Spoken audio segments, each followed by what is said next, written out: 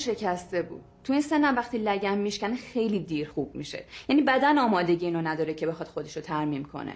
می‌دونستم حالا حالا باید بمونم و یه جورایی هم خوشحال بودم. چون خیلی وقت بود دنبال کار بودم. کار ثابت و خوب نداشتم.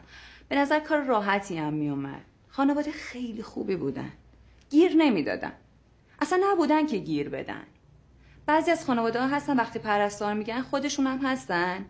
یه جوری دستور میدن. یه جوریه. آدم خوشش نمیاد.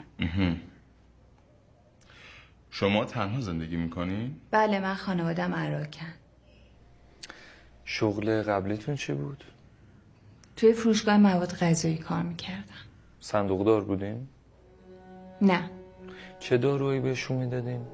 داروی خاصی نبود. یه سری دارو بود واسه دردش و اینکه بیشتر کارهای مهم و ضروریش رو همراهش بودم داروی مسکن رو فقط زمانی که خیلی درد داشت بهش می‌دادم همینا کیا اونجا رفت آمد داشتن به غیر از شما؟ فقط بچه هاشون کی از همه بیشتر میامد؟ اکثرا سوسن خانوم ام، بعضی وقتا هم آقا سعید مسعود آقا هم یه خورده کم می اومدن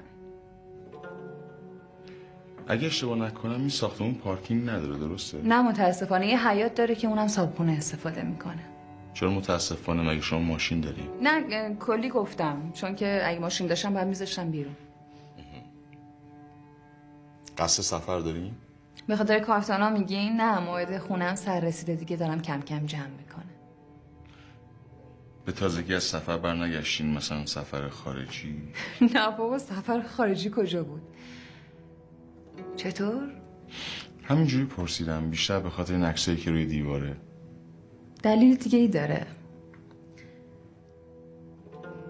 چه دلیلی؟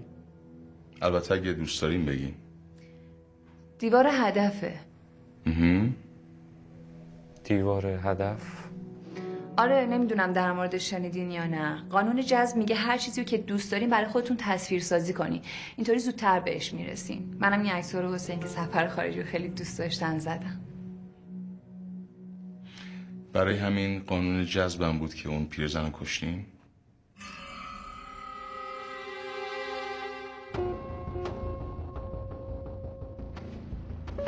خسته نباشید. برید خونه این مسئول مراقب باشین تا این پرستارا چی اعتراف می‌کنه.